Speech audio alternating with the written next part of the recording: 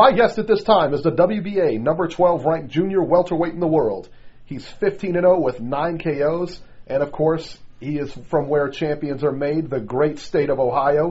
He will be fighting on March 4th in Columbus, Ohio at the Hollywood Casino. Sonny Fredrickson, welcome to Ringside Reporter. How you, how you doing, man? Good, man. Good, good. All right, so uh, we I just got some news. I just got some news today, and I know you probably got it before me. What what actually happened here? Because I know you're fighting March 4th. You're scheduled to fight March 4th, but your uh, your opponent, uh, Cristobal Cruz, has apparently dropped out. Or what happened with that? I guess his his visa expired, and they Wow. so he didn't so he so, so he didn't so he didn't really drop out. Like he, he really can't fight because that. So it's a it's a good reason. That's a pretty good reason, yeah, right? Yeah. Oh my goodness! Yeah. And now they, he would, that would have been a good opponent. I mean, he's a former uh, featherweight champion and everything like that, so that would have been uh, definitely a good opponent. Any word on uh, who the replacement will be? Uh, not not not at this moment. I just found that out a couple hours ago. So they they're probably getting on it now. So I'd probably know shortly, hopefully. Yeah, right. So what goes through your mind? I mean, when something like this happens, I mean, you, you're preparing for Cruz. This happens, and so what does that do to you? I mean, like as a fighter, you're going in there. You know that you know you're preparing for this one guy, and now this could be anybody. Now it's like a roll of the dice on who you get. Um, what does that? I mean, how does that affect you? How does that affect your training and all that other stuff?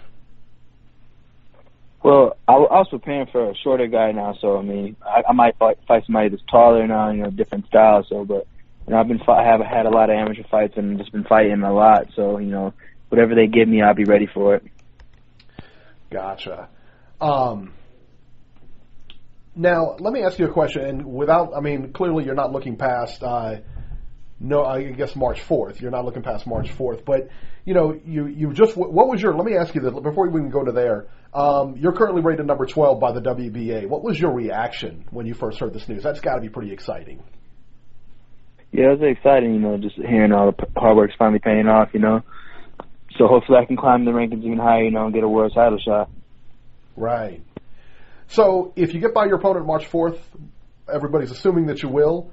What uh, what's after that? What I mean, uh, you got to have some names when you look at those rankings. I mean, because clearly you look at them. What what names stand out to you that you'd say you'd like to say, hey, you know what? I like that guy. I'd like to fight him next. Well, whatever whatever my team and Roc Nation um has planned for me, you know, hopefully, you know, get in there, get my first ten rounder out the way. After after uh, March fourth, you know, then develop and hopefully get start fighting guys inside the rankings. Right. All right. So explain that to the listeners who, who don't know. I mean, and uh, you know, so when you say, you know, I'm going to sit down with my team and we're going to look at it, tell me how that decision's made. How does that come about? What what goes on in those type of situations? Well, they they they find the best fights that's good for me. You know, I'm still young, so they so they want to um, make sure the fight like caters to me, make sure it, it's it's right timing. Every timing is everything. So when it when the timing is right, then we'll take any fight. So do they come to you and say, "Hey, you're going to fight this guy next," or do they come to you with, uh, like, say, like a list of three names, and say, you know, "Hey, you know, uh, we got fighter A, fighter B, and fighter C. This is how you match up with fighter A, fighter B, and fighter C. Which one would you like?" Is it is it something like that, or they just come to you with a name? They they just come to me with names. They usually they just they um they tell me that they've been looking at this guy and this is the guy they want me to fight, and I just I look at him and that's telling me yeah, I've never said no to anybody that ever told me. Right. Yeah, that's that's the thing. I mean, especially uh, you know, you're an up and comer, and so you're in. Yeah. You know, you could have easily said, you know, I mean, you know, you really you could have easily said, hey, I don't want to fight March fourth. My the guy I was preparing for dropped out. You could have very easily said, you know what, I'm not fighting March fourth because I prepared for this guy. But you're going in there anyway, no matter who they put. in Yeah, front of you. wh- wh- yeah. Whoever they bring in, um, I'm there. I'm there to fight. Absolutely, absolutely. All right, so let me let me uh, let me uh, switch gears here. Now, I, I was looking you up today. You have about 50 nicknames. You have Sensational Sonny Fredrickson, Babyfaced Assassin, Pretty Boy. Uh, wh- which one is it? Which one do you like to go by? Um, it, it really it really doesn't matter to me. Like my my manager likes to call me the Babyface Assassin, and Yeah. my coach likes to call me Pretty Boy. So I mean, I've been I've been, I've been using Pretty Boy longer. So I mean, I guess I'll go with that.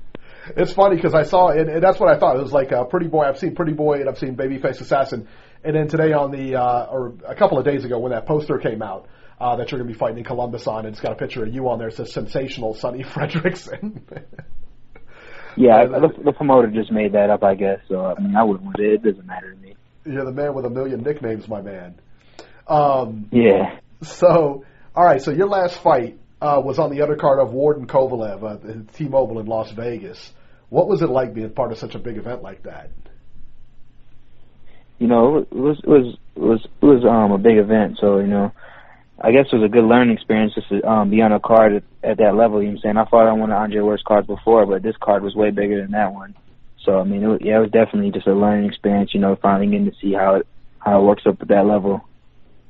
Absolutely. And what was it like? I mean, you know, because I thought it would be kind of cool that uh, I know Tyler McCreary was on that card as well. And I know you guys Yes. tra- you guys train together. Is that correct? You guys are at the same gym. Yes, Okay. yeah, same coach too. Does that make it easier for you to make the trip when you got somebody like that where you know and you've trained with and everything?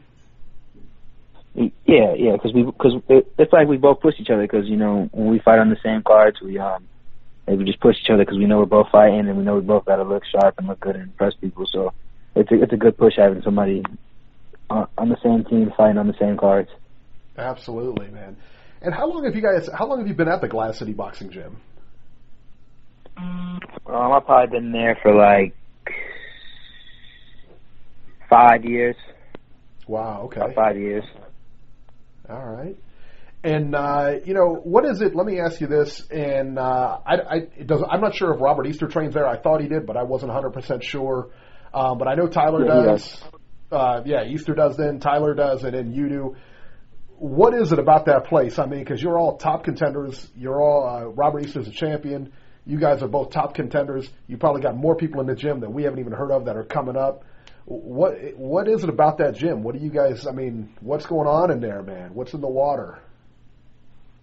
Yeah, it's, just a lot of talent. We got a lot of um, fighters there. We got a lot of fighters, you know, that ain't signed with promoters and managers, you know, and it's just everybody's in there trying to be the best, you know. So everybody's working hard, and it just it's just everybody's pushing each other, and that's what all, what it's all about. Very good, man.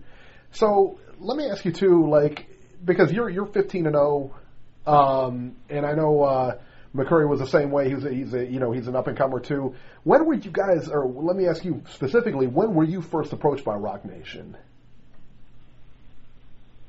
Um, I I think it was the, the end of my first um, about my sixth fight. It was my yeah my first year of um, being a professional.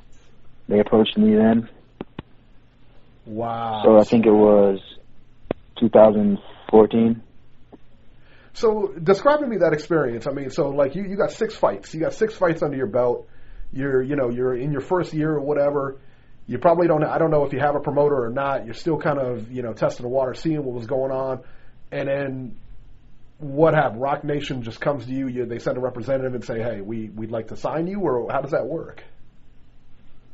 So they went through my manager, and um, then they sent um a guy to my gym, and he um watched us spar and watched us work out, and just wanted to look, at everything, and then they wanted to sign us. Wow. So, eh, how nerve wracking is it to have a guy come in there knowing, I mean, because you knew he was going to be there, you knew what he was looking for. How nerve wracking is it at that point? Uh, it, it, yeah, that, that was probably one of the most um, nervous moments of my career, you know, because I just wanted to um, make sure I get signed by him. So you know, I had to perform real well that that day, and I did. So it all worked out. Now, did you have anybody else looking at you or anybody else you were interested in? Uh, Mayweather Promotions, whatever. Uh, you know, there's a top rank, there's a billion of them out there. Um, I was supposed to fight on a top rank card before Mm-hmm. because I guess they to look at me, but my opponent dropped out like the last day before we were supposed to fly out, so that didn't end up happening. And then um, I think um, my my manager was gonna um, Golden Boy was gonna he was gonna talk to Golden Boy, but that didn't happen because um, Roc Nation came and that's when we started working with them. No, that's great, man. Great stuff. Um, you know, and they're a big, like I said, man, with with Andre Ward and everybody else like that, it kind of feels safe to go with a big, you know, with a bigger promoter like that. Uh, Yeah. is this the first card? Let me ask you the March 4th card. Um, is this the first card you'll be headlining? Uh, no, I, I headlined. Um, I want to say three, three cards in Toledo already, and a card in um, Kentucky. Look at you, man. My God, already headlining. Wow. Yeah. Um, that's insane.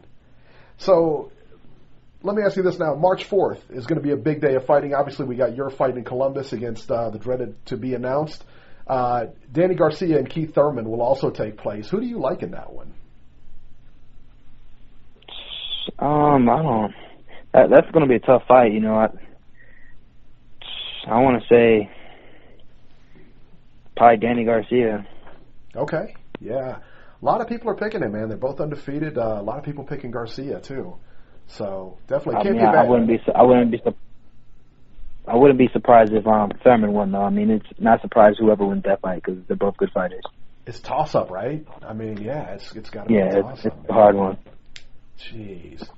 Um, March fourth, Columbus, Ohio, at the Hollywood Casino. Sonny Fredrickson versus TBA. Somebody, somebody's going to fight him. Somebody's going to step in that ring and fight him. And somebody's probably going to step in that ring and lose, man, because uh, I know he ain't losing. Tickets are still available. Go check it out. Follow Sonny Fredrickson on Twitter at Team Fredrickson. And uh, do you have an Instagram or anything that you want to plug? Yes, um, Sonny Frederick, um, Sonny Fredrickson underscore. All right, Sonny Fredrickson underscore on Instagram. Sonny, thanks for joining us today, and good luck on March 4th.